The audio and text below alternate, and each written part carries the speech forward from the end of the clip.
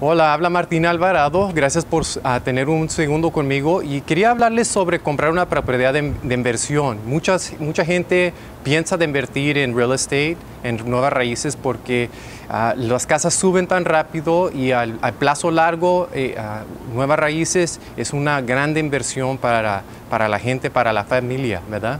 So, les quería hablar tantito de los requisitos que piden cuando tú estás tratando de comprar una propiedad de inversión con un préstamo regular tradicional del banco Fannie Mae, Freddie Mac.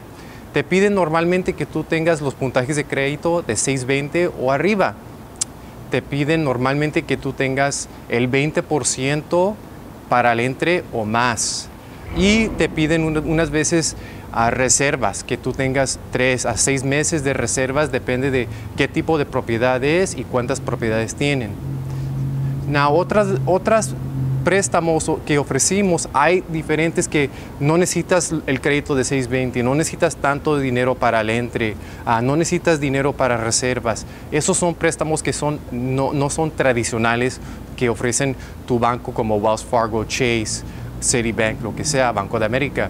Esos son non-traditional loans. También los ofrecemos los otros. Me puedes llamar para más información y claro, te ayudamos a y te, aquí estamos para servirte. Gracias y que tengas buen día.